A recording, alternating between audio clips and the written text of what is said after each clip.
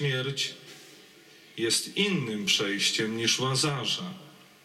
Ono dało początek nowemu stworzeniu i przywróciło utracony porządek i hierarchię wartości. Przywrócił nam godność dzieci Boga. Tę godność i twarz zeszpecone przez grzech. Drodzy bracia i siostry w Chrystusie, nasze obecne pielgrzymowanie na to miejsce maryjnego zawierzenia pragnie być przedłużeniem intensywnej komunii kościelnej doświadczanej właśnie w tym okresie Wielkiego Postu poprzez znamienną decyzję Ojca Świętego, dziś już emerytowanego Benedykta XVI i wybór nowego następcy Piotra, Ojca Świętego Franciszka.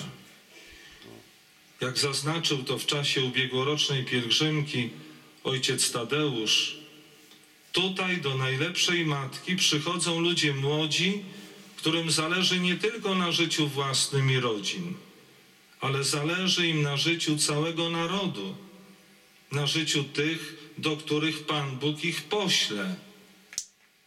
Jesteście w misji. Nie tylko kiedyś, ale już dzisiaj. I macie z pewnością tego świadomość. Dlatego przychodzicie, żeby czerpać ze źródeł maryjnego zawierzenia Bogu we wszystkim.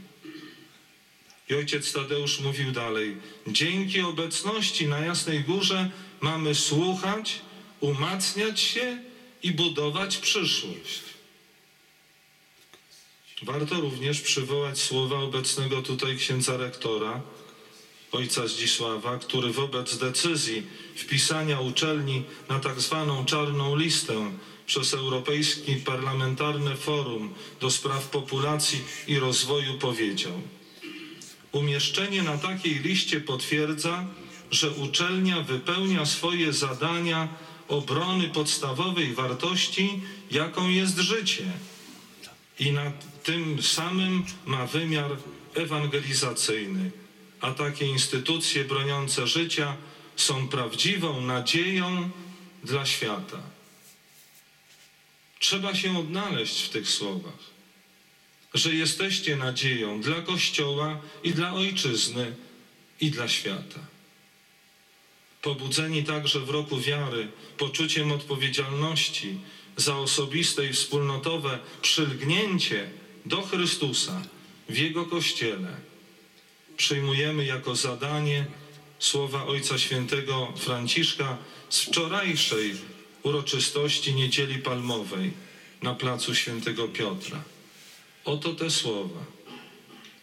Nie powinniśmy uwierzyć złemu, który mówi nam: Nic nie możecie uczynić przeciwko kłamstwu i przemocy, korupcji, niesprawiedliwości i przeciw swoim grzechom.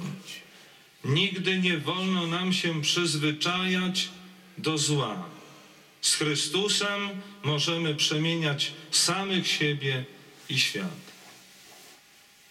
Czyż te słowa nie są również rodzajem promieni nadziei dla bardzo trudnego etapu zmagań o tożsamość katolików środków społecznego przekazu, a w tym dla słusznego miejsca na multiplexie dla telewizji Trwam? Nie możemy uwierzyć złemu, że nic nie da się uczynić przeciwko kłamstwu i dyskryminacji. Jeszcze jako kardynał Bergoglio z Buenos Aires, Ojciec Święty występował nie tylko w obronie biednych i odrzuconych, o której dzisiaj mówi również ten fragment Ewangelii. Biednych zawsze będziecie mieć. Ale pytanie zasadnicze: czy człowiek wybiera Chrystusa na pierwszym miejscu? Bo jeśli wybierze Chrystusa, wtedy podzieli chlebem z innym.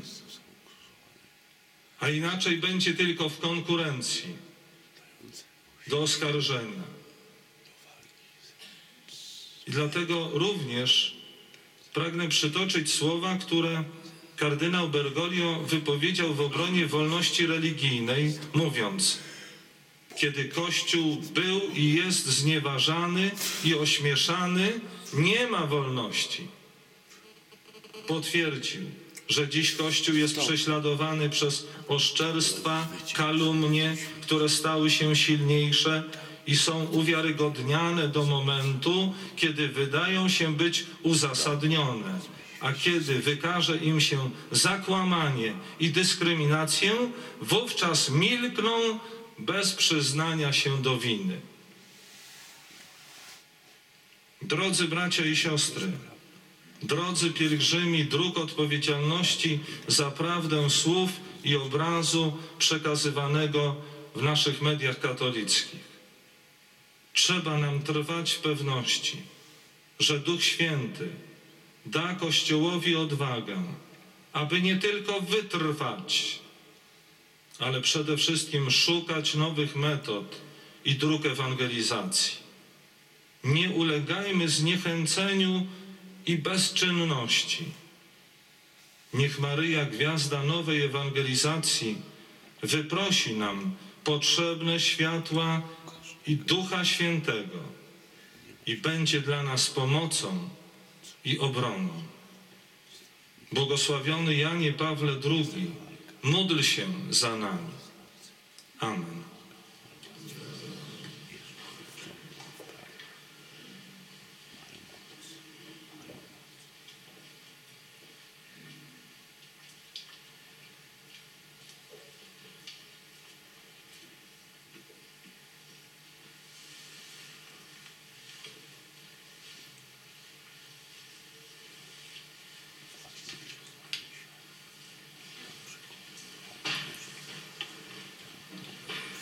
Do Boga najlepszego Ojca, który jest dawcą i Panem życia, zanieśmy nasze ufne prośby.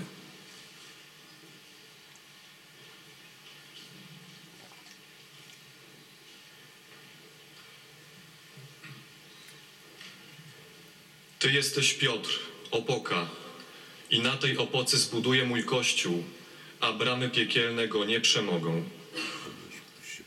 Panie, prosimy Cię za papieża Franciszka, aby idąc za Twym głosem, z odwagą i ufnością głosił Ewangelię życia. Niech umocniony Twoim błogosławieństwem będzie świadkiem miłości Chrystusowej tu na ziemi. Ciebie prosimy. Idźcie na cały świat i głoście Ewangelię wszelkiemu stworzeniu. Panie, prosimy Cię za obecnego wśród nas metropolitę częstochowskiego, księdza arcybiskupa Wacława Depo oraz za kapłanów, aby w obliczu ataków na wiarę katolicką nigdy nie ulegli zwątpieniu. Daj im siłę w pokonywaniu codziennych trudności i łaskę umocniania w wierze Twoich wiernych. Ciebie prosimy, Nie bój się, Maryjo, znalazłaś bowiem łaskę u Boga. Oto poczniesz i porodzisz syna, któremu nadasz imię Jezus. Panie, w dniu świętości życia prosimy Cię za członków ruchu obrony życia oraz tych, którzy podjęli duchową adopcję. Niech ich modlitwa przyczyni się do obrony życia od poczęcia do naturalnej śmierci. Ciebie prosimy. Pozwólcie dzieciom przychodzić do mnie, nie zabraniajcie im, bo do takich należy Królestwo Boże. Panie, prosimy Cię za kobiety w stanie błogosławionym. Niech z miłością i nadzieją przyjmą wzrastające pod ich sercem dziecko, a w chwilach zwątpienia niech pamiętają, że to Ty jesteś dawcą życia. Ciebie prosimy. Błogosławieni jesteście, gdy ludzie wam urągają i prześladują was, i gdy z mego powodu mówią kłamliwie wszystko złe na was. Cieszcie się i radujcie, albowiem wasza nagroda wielka jest w niebie. Panie, prosimy Cię za ojca Tadeusza Rydzyka. Otocz go płaszczem swej opieki i obdarz darami Ducha Świętego, aby pokonywał trud codziennej ewangelizacji. Ciebie prosimy. Jeżeli mnie prześladowali, to i was prześladować będą. Panie, prosimy Cię za Radio Maryja, telewizję Trwam, Wyższą Szkołę Kultury Społecznej i Medialnej, nasz dziennik i inne dzieła nowej ewangelizacji, aby mimo dyskryminacji nigdy się nie ugięły i nie zrezygnowały z głoszenia prawdy. Ciebie prosimy, Bóg w swoim wielkim miłosierdziu przez powstanie z martwych Jezusa Chrystusa na nowo zrodził nas do żywej nadziei. Panie, prosimy Cię za rządzących na całym świecie. Niech z szacunkiem odnoszą się do życia i nie występują przeciw godności i wolności ludzkiej. Ciebie prosimy. Wiedząc, że Chrystus powstawszy z martwych już więcej nie umiera, śmierć nad nim nie ma już władzy. Panie, prosimy Cię za zmarłych. Przyjmij ich do swego królestwa i pozwól zasiąść w gronie zbawionych. Ciebie prosimy, Jeden duch i jedno serce ożywiały wszystkich wierzących. Panie, prosimy Cię za nas, uczestników tej Eucharystii. Wlej w nasze serca miłość do bliźnich i pozwól owocnie przeżyć czas Wielkiego Tygodnia. Ciebie prosimy.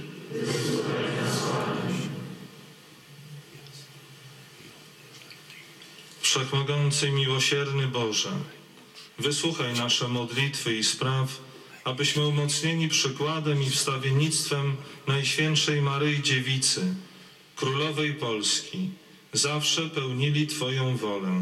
Przez Chrystusa, Pana naszego. Amen.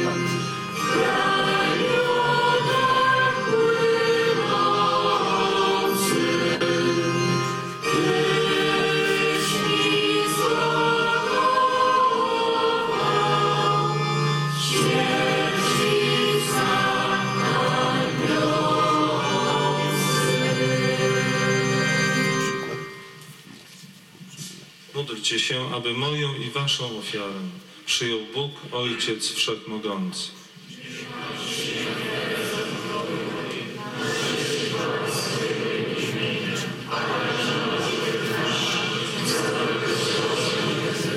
Wszechmogący Boże, wejrzyj z upodobaniem na modlitwy i dary, które Twoi wierni przedstawiają Tobie, oddają cześć Najświętszej Maryi, Matce Bożej i w swoim miłosierdziu udziel nam pomocy przez Chrystusa Pana naszego. Pan z Wami.